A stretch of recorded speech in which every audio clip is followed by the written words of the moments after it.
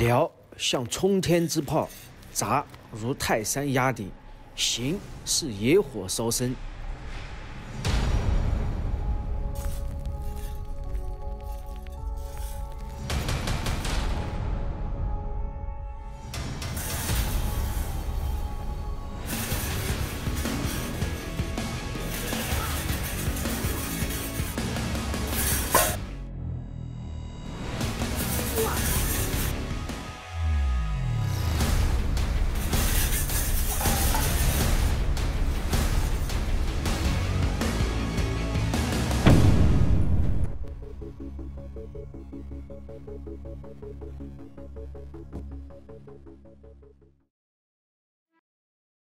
我叫释延基啊，今年二十六岁，现在是少林寺的一名武僧。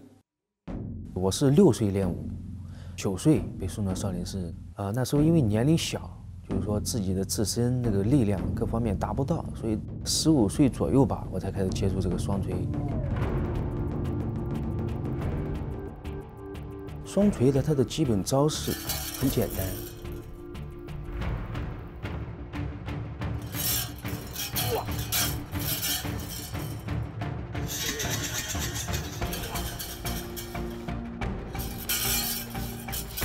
配合一些基本的动作，然后组成的一个套路。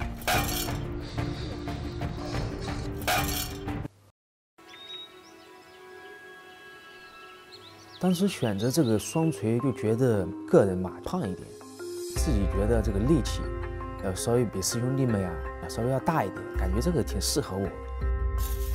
练习这个双锤，中间遇到过很多的问题，当时也是因为自己体重的一个问题。啊，有一个摔法，可能掌控的这个不到位。我是想，这个摔法如果我要做好的情况下，会让别人有眼前一亮的感觉。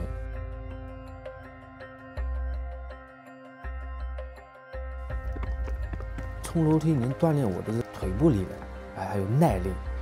然后爬楼梯呢，更能锻炼我们的这个手臂的力量。石锁功，它是少林寺很古老的一种练功方式。它主要的是练内，还有外。那外在的话，更多的是练习这个腰部力量；然后内的话，主要就是练一个呼吸。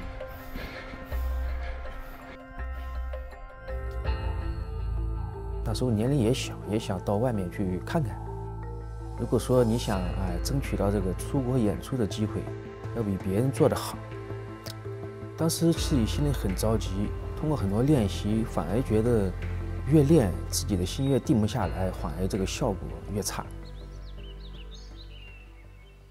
用心太重了，过于追求完美。你练的是锤，兵器就是你身体的延伸，不要身和锤分家的。每项练习，它不是局部的力量练习，特别是武术，它是全身心的一个练习。你在生活当中，你可以去呃多锻炼一些力量性的工作，把本力激发出来。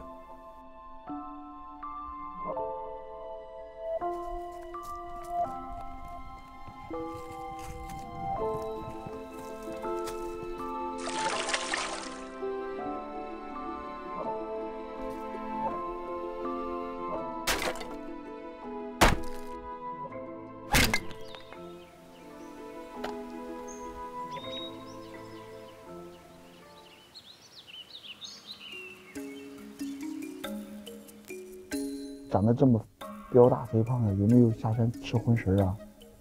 我这是天生的，你知道吗？天生的，喝水都塞牙是吧？喝水，我这属于喝水都能胖的人。我要是流血了，我把你缝一补，你没有心疼感啊？没事，留着可精神。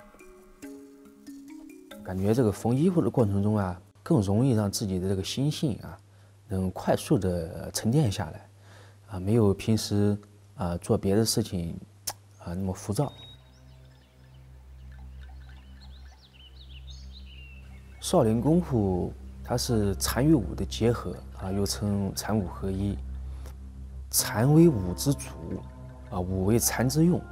通过练习少林寺的功夫，悟的一些东西，只是说我自我感觉的悟的一些东西。做任何事情啊，啊，不要那么急躁，真正明白自己内心想要的是什么。很多事情你要学会暂时放下，不要那么执念的去去面对它。当你放下一段时间之后，啊，过一段时间再拿起，哎，你的心境有不同。